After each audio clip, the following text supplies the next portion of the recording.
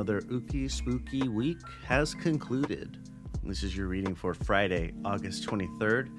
If you would like to see the spread, go to LVX Media Net on Instagram or TikTok.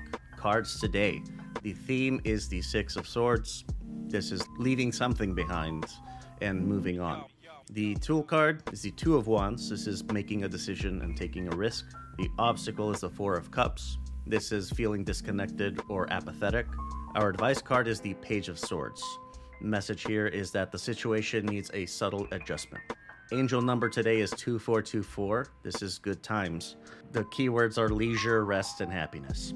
All right, another week has come and gone. Uh, this one's going to be a little quick.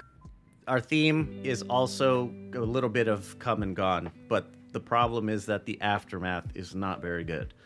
The Six of Swords is like a turning point where the decisions of our past are coming to haunt us now, and we have to leave something behind if we want to continue moving forward. I don't know, it's like an offering to the fucking ghosts of Christmas past or something, I guess. So, our tool for this is a card that is absolutely in the same vein. Uh, the Two of Wands is meant to be a nudge uh, that it, whatever the fuck it is you're gonna leave behind, figure it the fuck out. Progress, that is like moving forward with life, your occupation, with romance, whatever the fuck it is, it's on the other side of this decision point.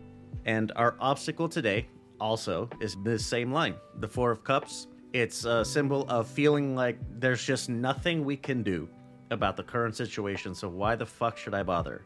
And man, oh man, how easy that would be. The advice card says that there's a simple fix to get out of it.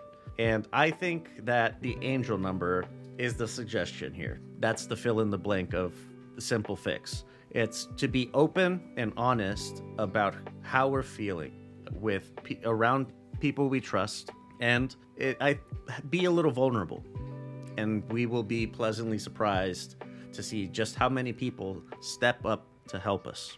That that is to give us that uh, kind of take our mind off of things, right? A little bit of fun, get out of your headspace. I'm always really curious to know how these readings land for people. Uh, if you could, if you're feeling brave, leave a comment wherever it is that you're listening to, or hit us up on social media if you want. LVX Media Net, that's the handle everywhere. Uh, let me know how it landed. I always like knowing if they're good or not, so I don't know if there's things I need to do differently or whatever. Go to luxmediashows.com if you would like a personal reading. Hit the Ookie Spooky button that's on the front page and you fill out the form, pick the deck that you like, and we're off to the races.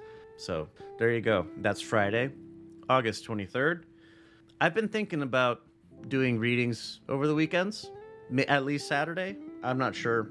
I don't know. You let me know what you think. But in the meantime, I will see you Monday. Same Mookie time, same spooky place.